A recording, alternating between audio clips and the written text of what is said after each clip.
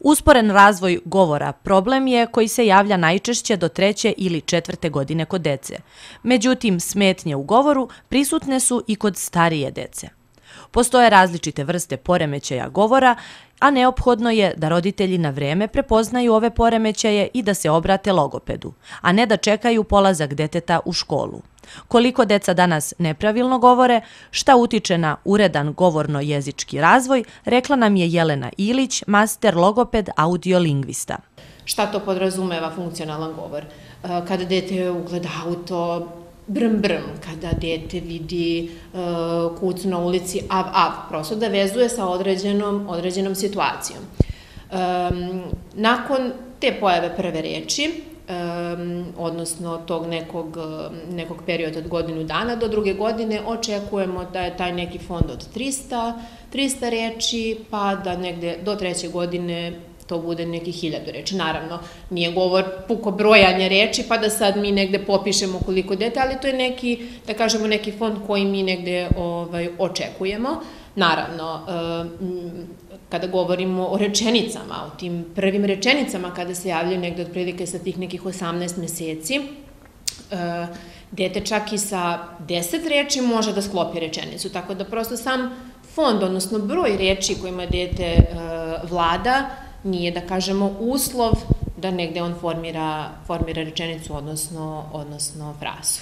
I koliko e, govor deteta zapravo zavisi uh, od roditelja, od komunikacije u kući, kao što si rekla malo pre, e, da to počinje od samog razvoja fetusa, od Tako. muzike koju sluša, od filmova koje gleda, htelo ili ne. Kako ne, e, koliko je udeo negde, da kažem, nekih bioloških faktora, odnosno nasledđa, samim tim je isti toliki je uticaj i sredine, odnosno okruženja gde, gde, ovaj, gde dete e, boravi.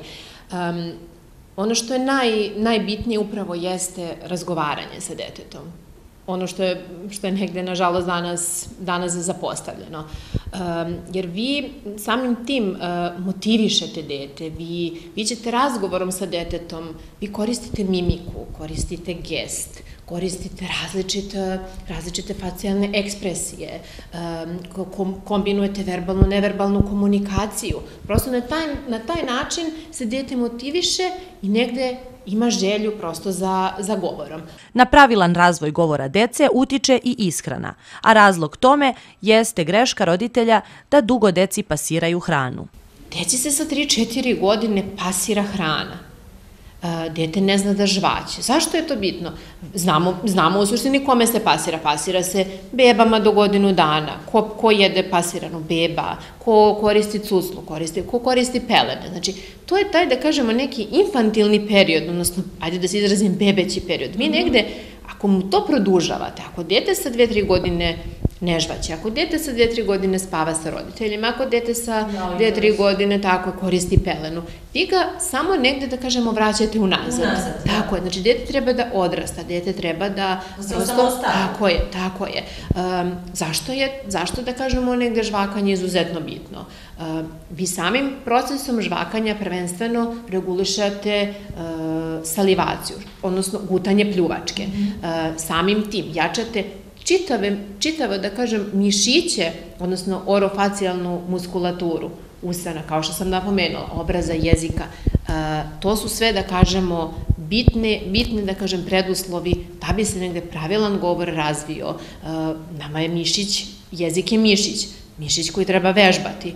Samim tim jezik je potreban da bismo mi neke određene glasove dobili, da bi dete pravilno izgovaralo, a to je, nažalost, za nas da li roditeljima lakše ispasirati, ja ne mogu da čekam e, dugo, dugo jede, samo premeće hranu sa jednu stranu na drugu, ja za jedan zalogujem je potrebno 10-15 minuta i onda je najlakše dati sve to smisk, e, sve to, da kažem, smučkati. negde smućkati, tako je, dati na kašičicu što bržem nekom roku i nažalost sve se to negde prolongira danas sutra, danas sutra i dođete u situaciju da, eto, sa problemima sa kojima se susrećemo danas. Da bi progovorilo, dete mora da bude stimulisano govorom i to pravilnim govornim modelima, a to znači da bude motivisano i emocionalno zadovoljno, uključujući pozitivnu povratnu vezu roditelj, dete, roditelj. Ono što se detetu uh, nudi prilikom uh, tim vizualno-auditivnim putem, jeste da je to u suštini jednostrana komunikacija. Dete ne učestvuje aktivno, prosto to je sada negde postalo, ajde da kažem, ja sam roditelj, prosto ne mogu da osuđujem roditelja, ali mogu reći slobodno pomodarstvo. Slažem se, to jeste postalo pomodarstvo. Nažalost, ne postoji, ne mogu prosto da opravdam da, toliko, da je toliko nemanje vremena da se detetu, da dete da neki roditelj prosto dozvoli da toliko vremena se provodi prilikom, tokom, odnosno gledanja nekih, da kažem, video sadržaja. Detetov mozak do druge, treće, druge godine ne može da obradi tu, tu informaciju koja se njemu plasira. To je izuzetno složen sadržaj. Znači, to je puko gledanje bez apsolutno ikakvog razumevanja. Mene često roditelji pitaju, pa dobro, eto, e, pustimo mu pesmice, on gleda pesmicu i prosto, i tu su neki pokreti, neki, ali... A koju pesmicu mu puste? Ali šta je pesmica? Pesmica se sluša. Da li se pesmica gleda ili se pesmica sluša? Pesmice se slušaju, pesmice se ne gledaju. E, govor se uči slušanjem. Znači, dete uči slušanjem, možete pustiti prosto neki, neku pesmicu, ali da dete ne gleda To je u suštini, u suštini poenta uh, i najbitnije jeste da dete, znači do druge godine, to je ono ključ svega roditeljima objasniti da roditelj, da dete uh, ne može da obradi tu informaciju, ne razume to što gleda. Iako mi, nama se čini, aha, ono gleda crtan ili gleda, njemu se to dopada, uh, dete to ne može da obradi.